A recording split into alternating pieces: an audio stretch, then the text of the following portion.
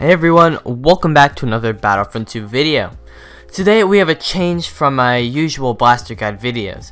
Instead of me making a script and doing a voiceover, I did the guide during a live stream without a script, for a more natural feel. Now this is the first guide I've done like this, so let me know what you think of it. I already know in what areas I can improve on it, but I want to see what y'all think of it.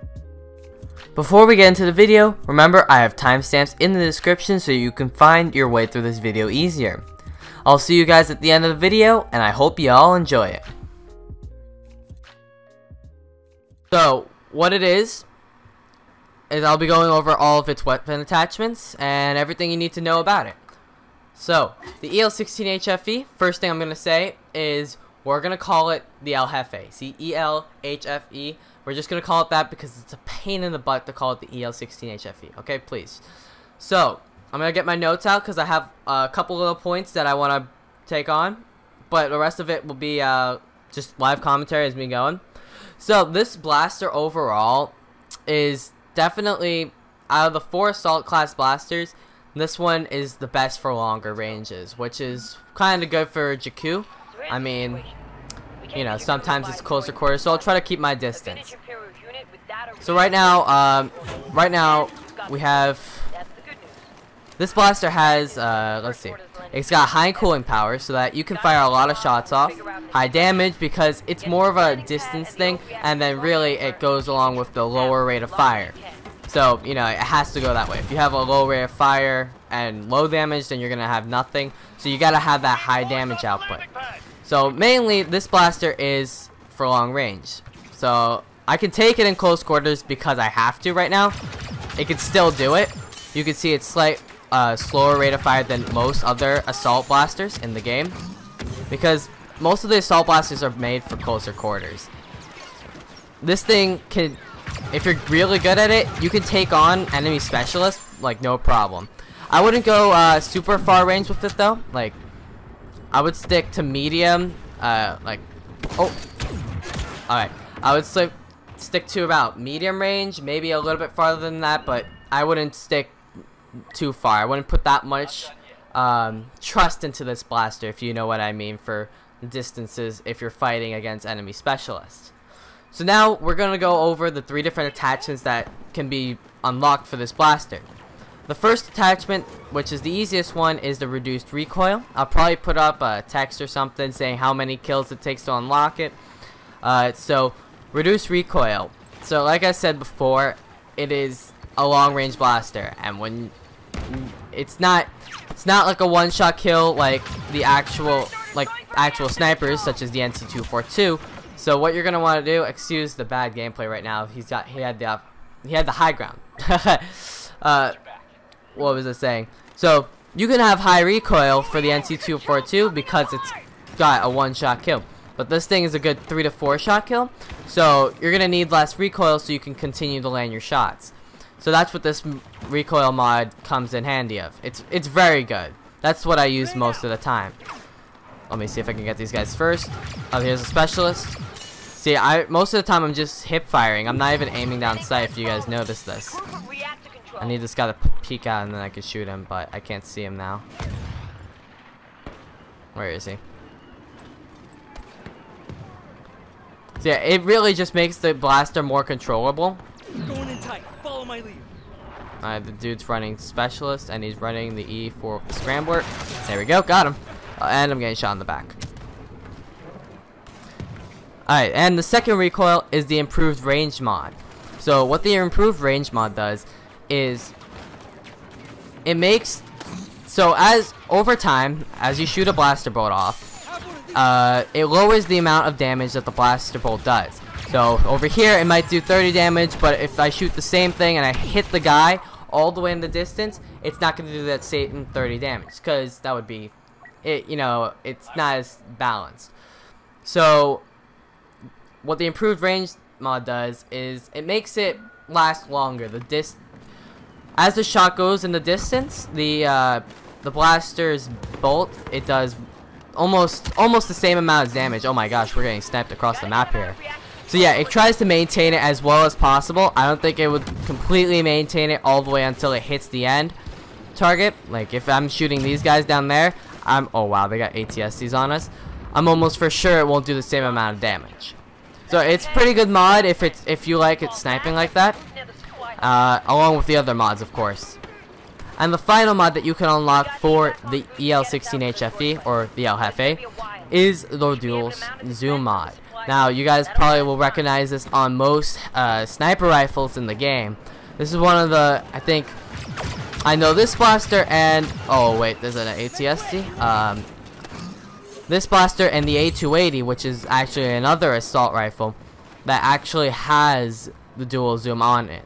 So it's how you activate it is when you zoom in, you press the right stick click on your controller and it increases the zoom. Of course, it's toggleable, so you can keep it zoomed in for as long as you want or vice versa. This mostly is for uh, longer range. I mean, I just prefer to have it on just in case if I need to land that one shot at the distance that I can't hit it normally. So I, I personally like having options, and that's the option I would. Oh boy. Oh man, you know I should have used the Vanguard there. But, you know, what can you do? So, yeah, so it's mostly preference, of course. If you don't like having the dual zoom, it's up to you. I mean, if you're going to stay closer quarters, I mean, the thing is, most of them are meant for longer range. So, even if you do uh, equip the improved range mod and don't put on the dual zoom, it's really not going to affect it anymore because it's closer quarters. It doesn't increase the damage at close quarters, it only increases it at distances, or stabilizes it. So now, um, out of all the mods, the mods that I use the most, like these are kind of my favorite, I use the first two, or no, the first and the last one, the reduced recoil, because it's just a lot better it, without having to deal with the extra recoil, and then the dual zoom on. Like I said before, I just like having options, and that's an option I like to have most of the time. Like, look how nice this is, having it all zoomed in. Right now, I can't hit the side of a barn because this guy's rolling a lot, and we're quite close quarters for this blaster. But, that those are the two I'd like. Up to you. You should definitely consider trying them both, and then deciding off of that. So, you have to mix and match, test your stuff. If you think, if you're going to stay closer quarters with uh, with this blaster, which I would highly not suggest. Oh boy, that guy just meleeed me. uh, then you might not want to have the dual zoom. So, you know what I mean. So, one thing you're going to need to learn with the EL16HFE, which kind of attributes to once you're staying at distances and stuff, and because it's a black sniper, is the thing with snipers, real snipers from the specialist class, is that their bullet velocity, I think that's the word, but their bullet speed, or blaster bolt speed, is extremely, extremely fast. But this blaster bolt is not the fastest, so what you're going to have to do instead is lead your targets. So if a person's moving left and right, or really far left, or really far right, and they're in the distance, you're going to have to contribute to that and move ahead of, and aim ahead of them. So by the time the aim actually goes, oh boy, they got a, oh that's explosive shot there. So by the time it actually goes over and hits the enemy, like makes it over there, you'll actually be able to hit the enemy. That's one thing that comes with time and practice. It's, you know, you can't get it off start. Maybe you can. Maybe you're a good sniper and that's one thing. But it mostly just takes time and practice uh, to learn how to use the, like how to adjust to the different uh, situations that you'll come against with the extra recoil. Here's a good, not the extra recoil, with the how slow it is. So I'm using dual zoom right now. Uh, well, I just got a double kill, so we're gonna see if we can get some people here. Oh wow, okay, that was pretty good. What is Life 11D? Wow, okay. So that's not even see. Sometimes with the dual zoom also, it gives you a better chance to actually headshot the enemies because it's like, you know, it makes the enemies bigger. Hey guys, I hope you all enjoyed the video. I have a topic and thing I want to correct from what I said earlier. I want to cover it right now before I end the video. In the live recording of this guide, I make it seem like the El Jefe should never go in close quarter combat. And let me correct myself. Don't bring this blaster into close quarter combat if you don't have to. If you can stay more on the defensive playstyle for an assault class, please do. But if you have to go close quarters and you have the EL16 HFE equipped, you'll have a harder time staying alive compared to if you had the CR2 or the A280. One advantage you do get from using the El Jefe at CQC is that if you hit your enemy, you could potentially two-shot any enemy. The El Jefe has really high damage per shot at CQC. You're going to want to not spam fire, as you normally would the CR2, but instead take your time and make sure you land your shots. Overall, the EL16 HFE is a really good blaster that excels at medium range combat, and can be used effectively at any range, whether that be CQC or sniping distance. If you don't use this blaster, I definitely suggest you take another shot at it. If you guys enjoyed the video or learned something new, feel free to drop a like on the video as it helps out a bunch.